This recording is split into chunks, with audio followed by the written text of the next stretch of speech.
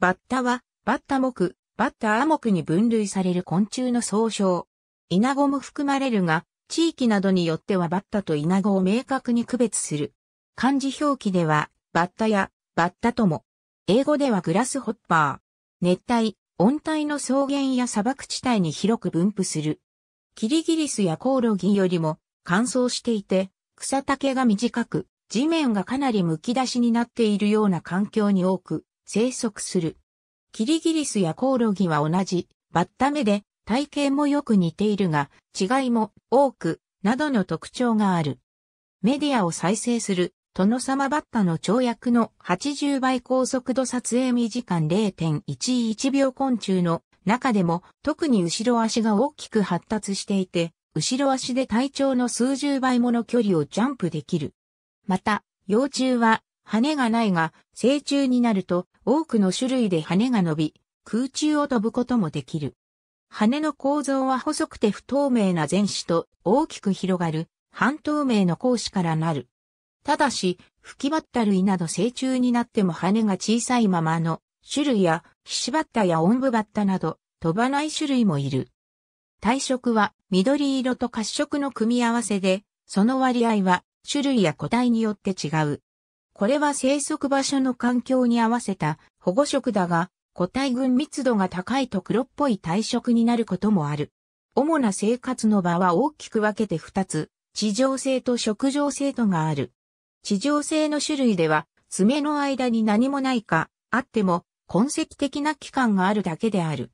食上性では、爪の間に吸盤状の器官が発達し、これで植物などにしがみつく。また、ガラスのような滑る面でも自由に歩き回ることができる。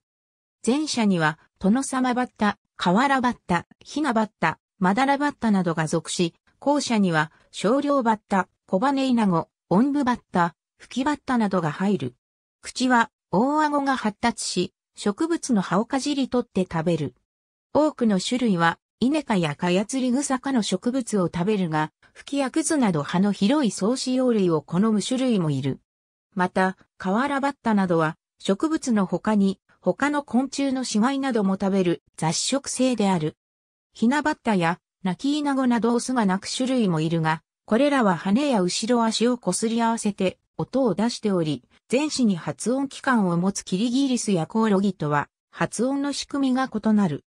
また、少量バッタや殿様バッタ、車バッタなどは飛翔中に発音するが、これは前後の羽を打ち合わせながら飛翔することで発音している。殿様バッタの交尾バッタは、卵幼虫成虫という成長段階を踏む不完全変態の昆虫である。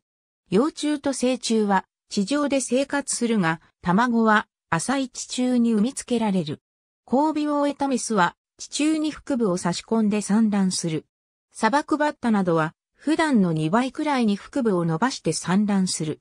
卵はカマキリと同じように泡でできた卵巣に包まれ、一箇所に固めて産みつけられる。時間が経つと土中で卵巣が固まり、季節の変化や乾燥から卵を守る。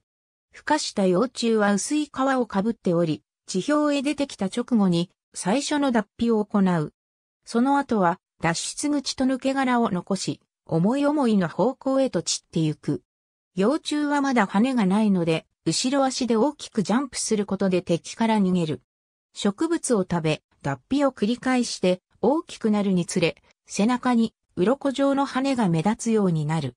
最後の脱皮を行って成虫になると、羽が伸び、メスの腹部の先端には、硬い産卵管ができる。オスはメスを探して、メスの背中に飛び乗って、交尾を行う。オスがメスの背面に乗るというこの行動は一種のガード行動で、他のオスを排除する意味もある。日本のバッタ類は、普通冬には、成虫が死んでしまい、卵で越冬するが、土稲子は、成虫で越冬する。また、殿様バッタ、ひなバッタでは6月頃と9月頃の年2回、成虫が発生する。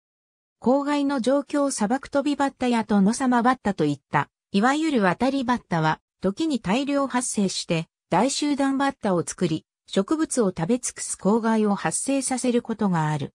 集団が通りかかった地域の田畑は壊滅的な被害を受け、さらに食べるものがなくなると、バッタの集団内で共食いが起こる凄まじさである。映画、エクソシスト2の象徴的シーンに使われた。日本のトノサマーバッタなどでも発生する現象だったが、近年はその発生を見ることはほとんどない。これは農薬による防除の発達や生育環境の変化などによると思われる。バッタの幼虫は低い密度で生息すると孤独症と呼ばれる単独生活を送る普通の成虫になるが、幼虫が高い密度で生息した場合に、群生症という飛翔能力と集団性が高い、成虫に変化するという特徴がある。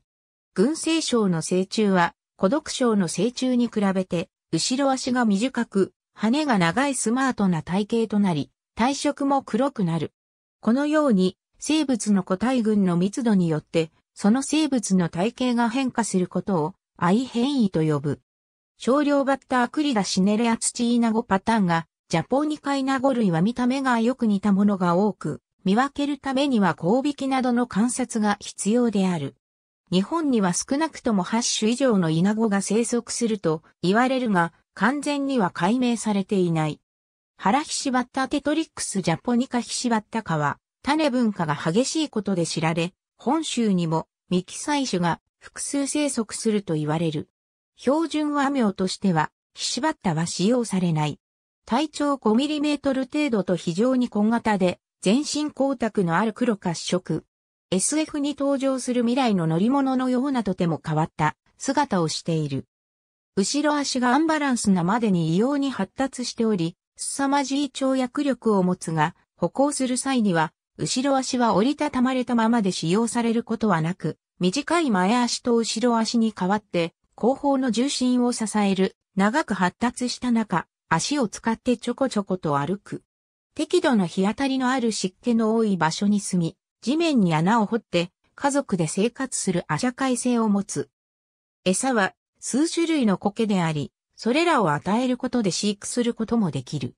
また、頭部から胸部にかけての形態はむしろケラに似ており、バッタではなくコオロギ状化に分類する意見もある。旧約聖書で予言される三つの最悪の一つとして引用されたものである。また、新約聖書の荒井者ヨハネは、荒れ野で自給自足の生活をしていたが、この際の主食は野蜜と稲子であったという。ありがとうございます。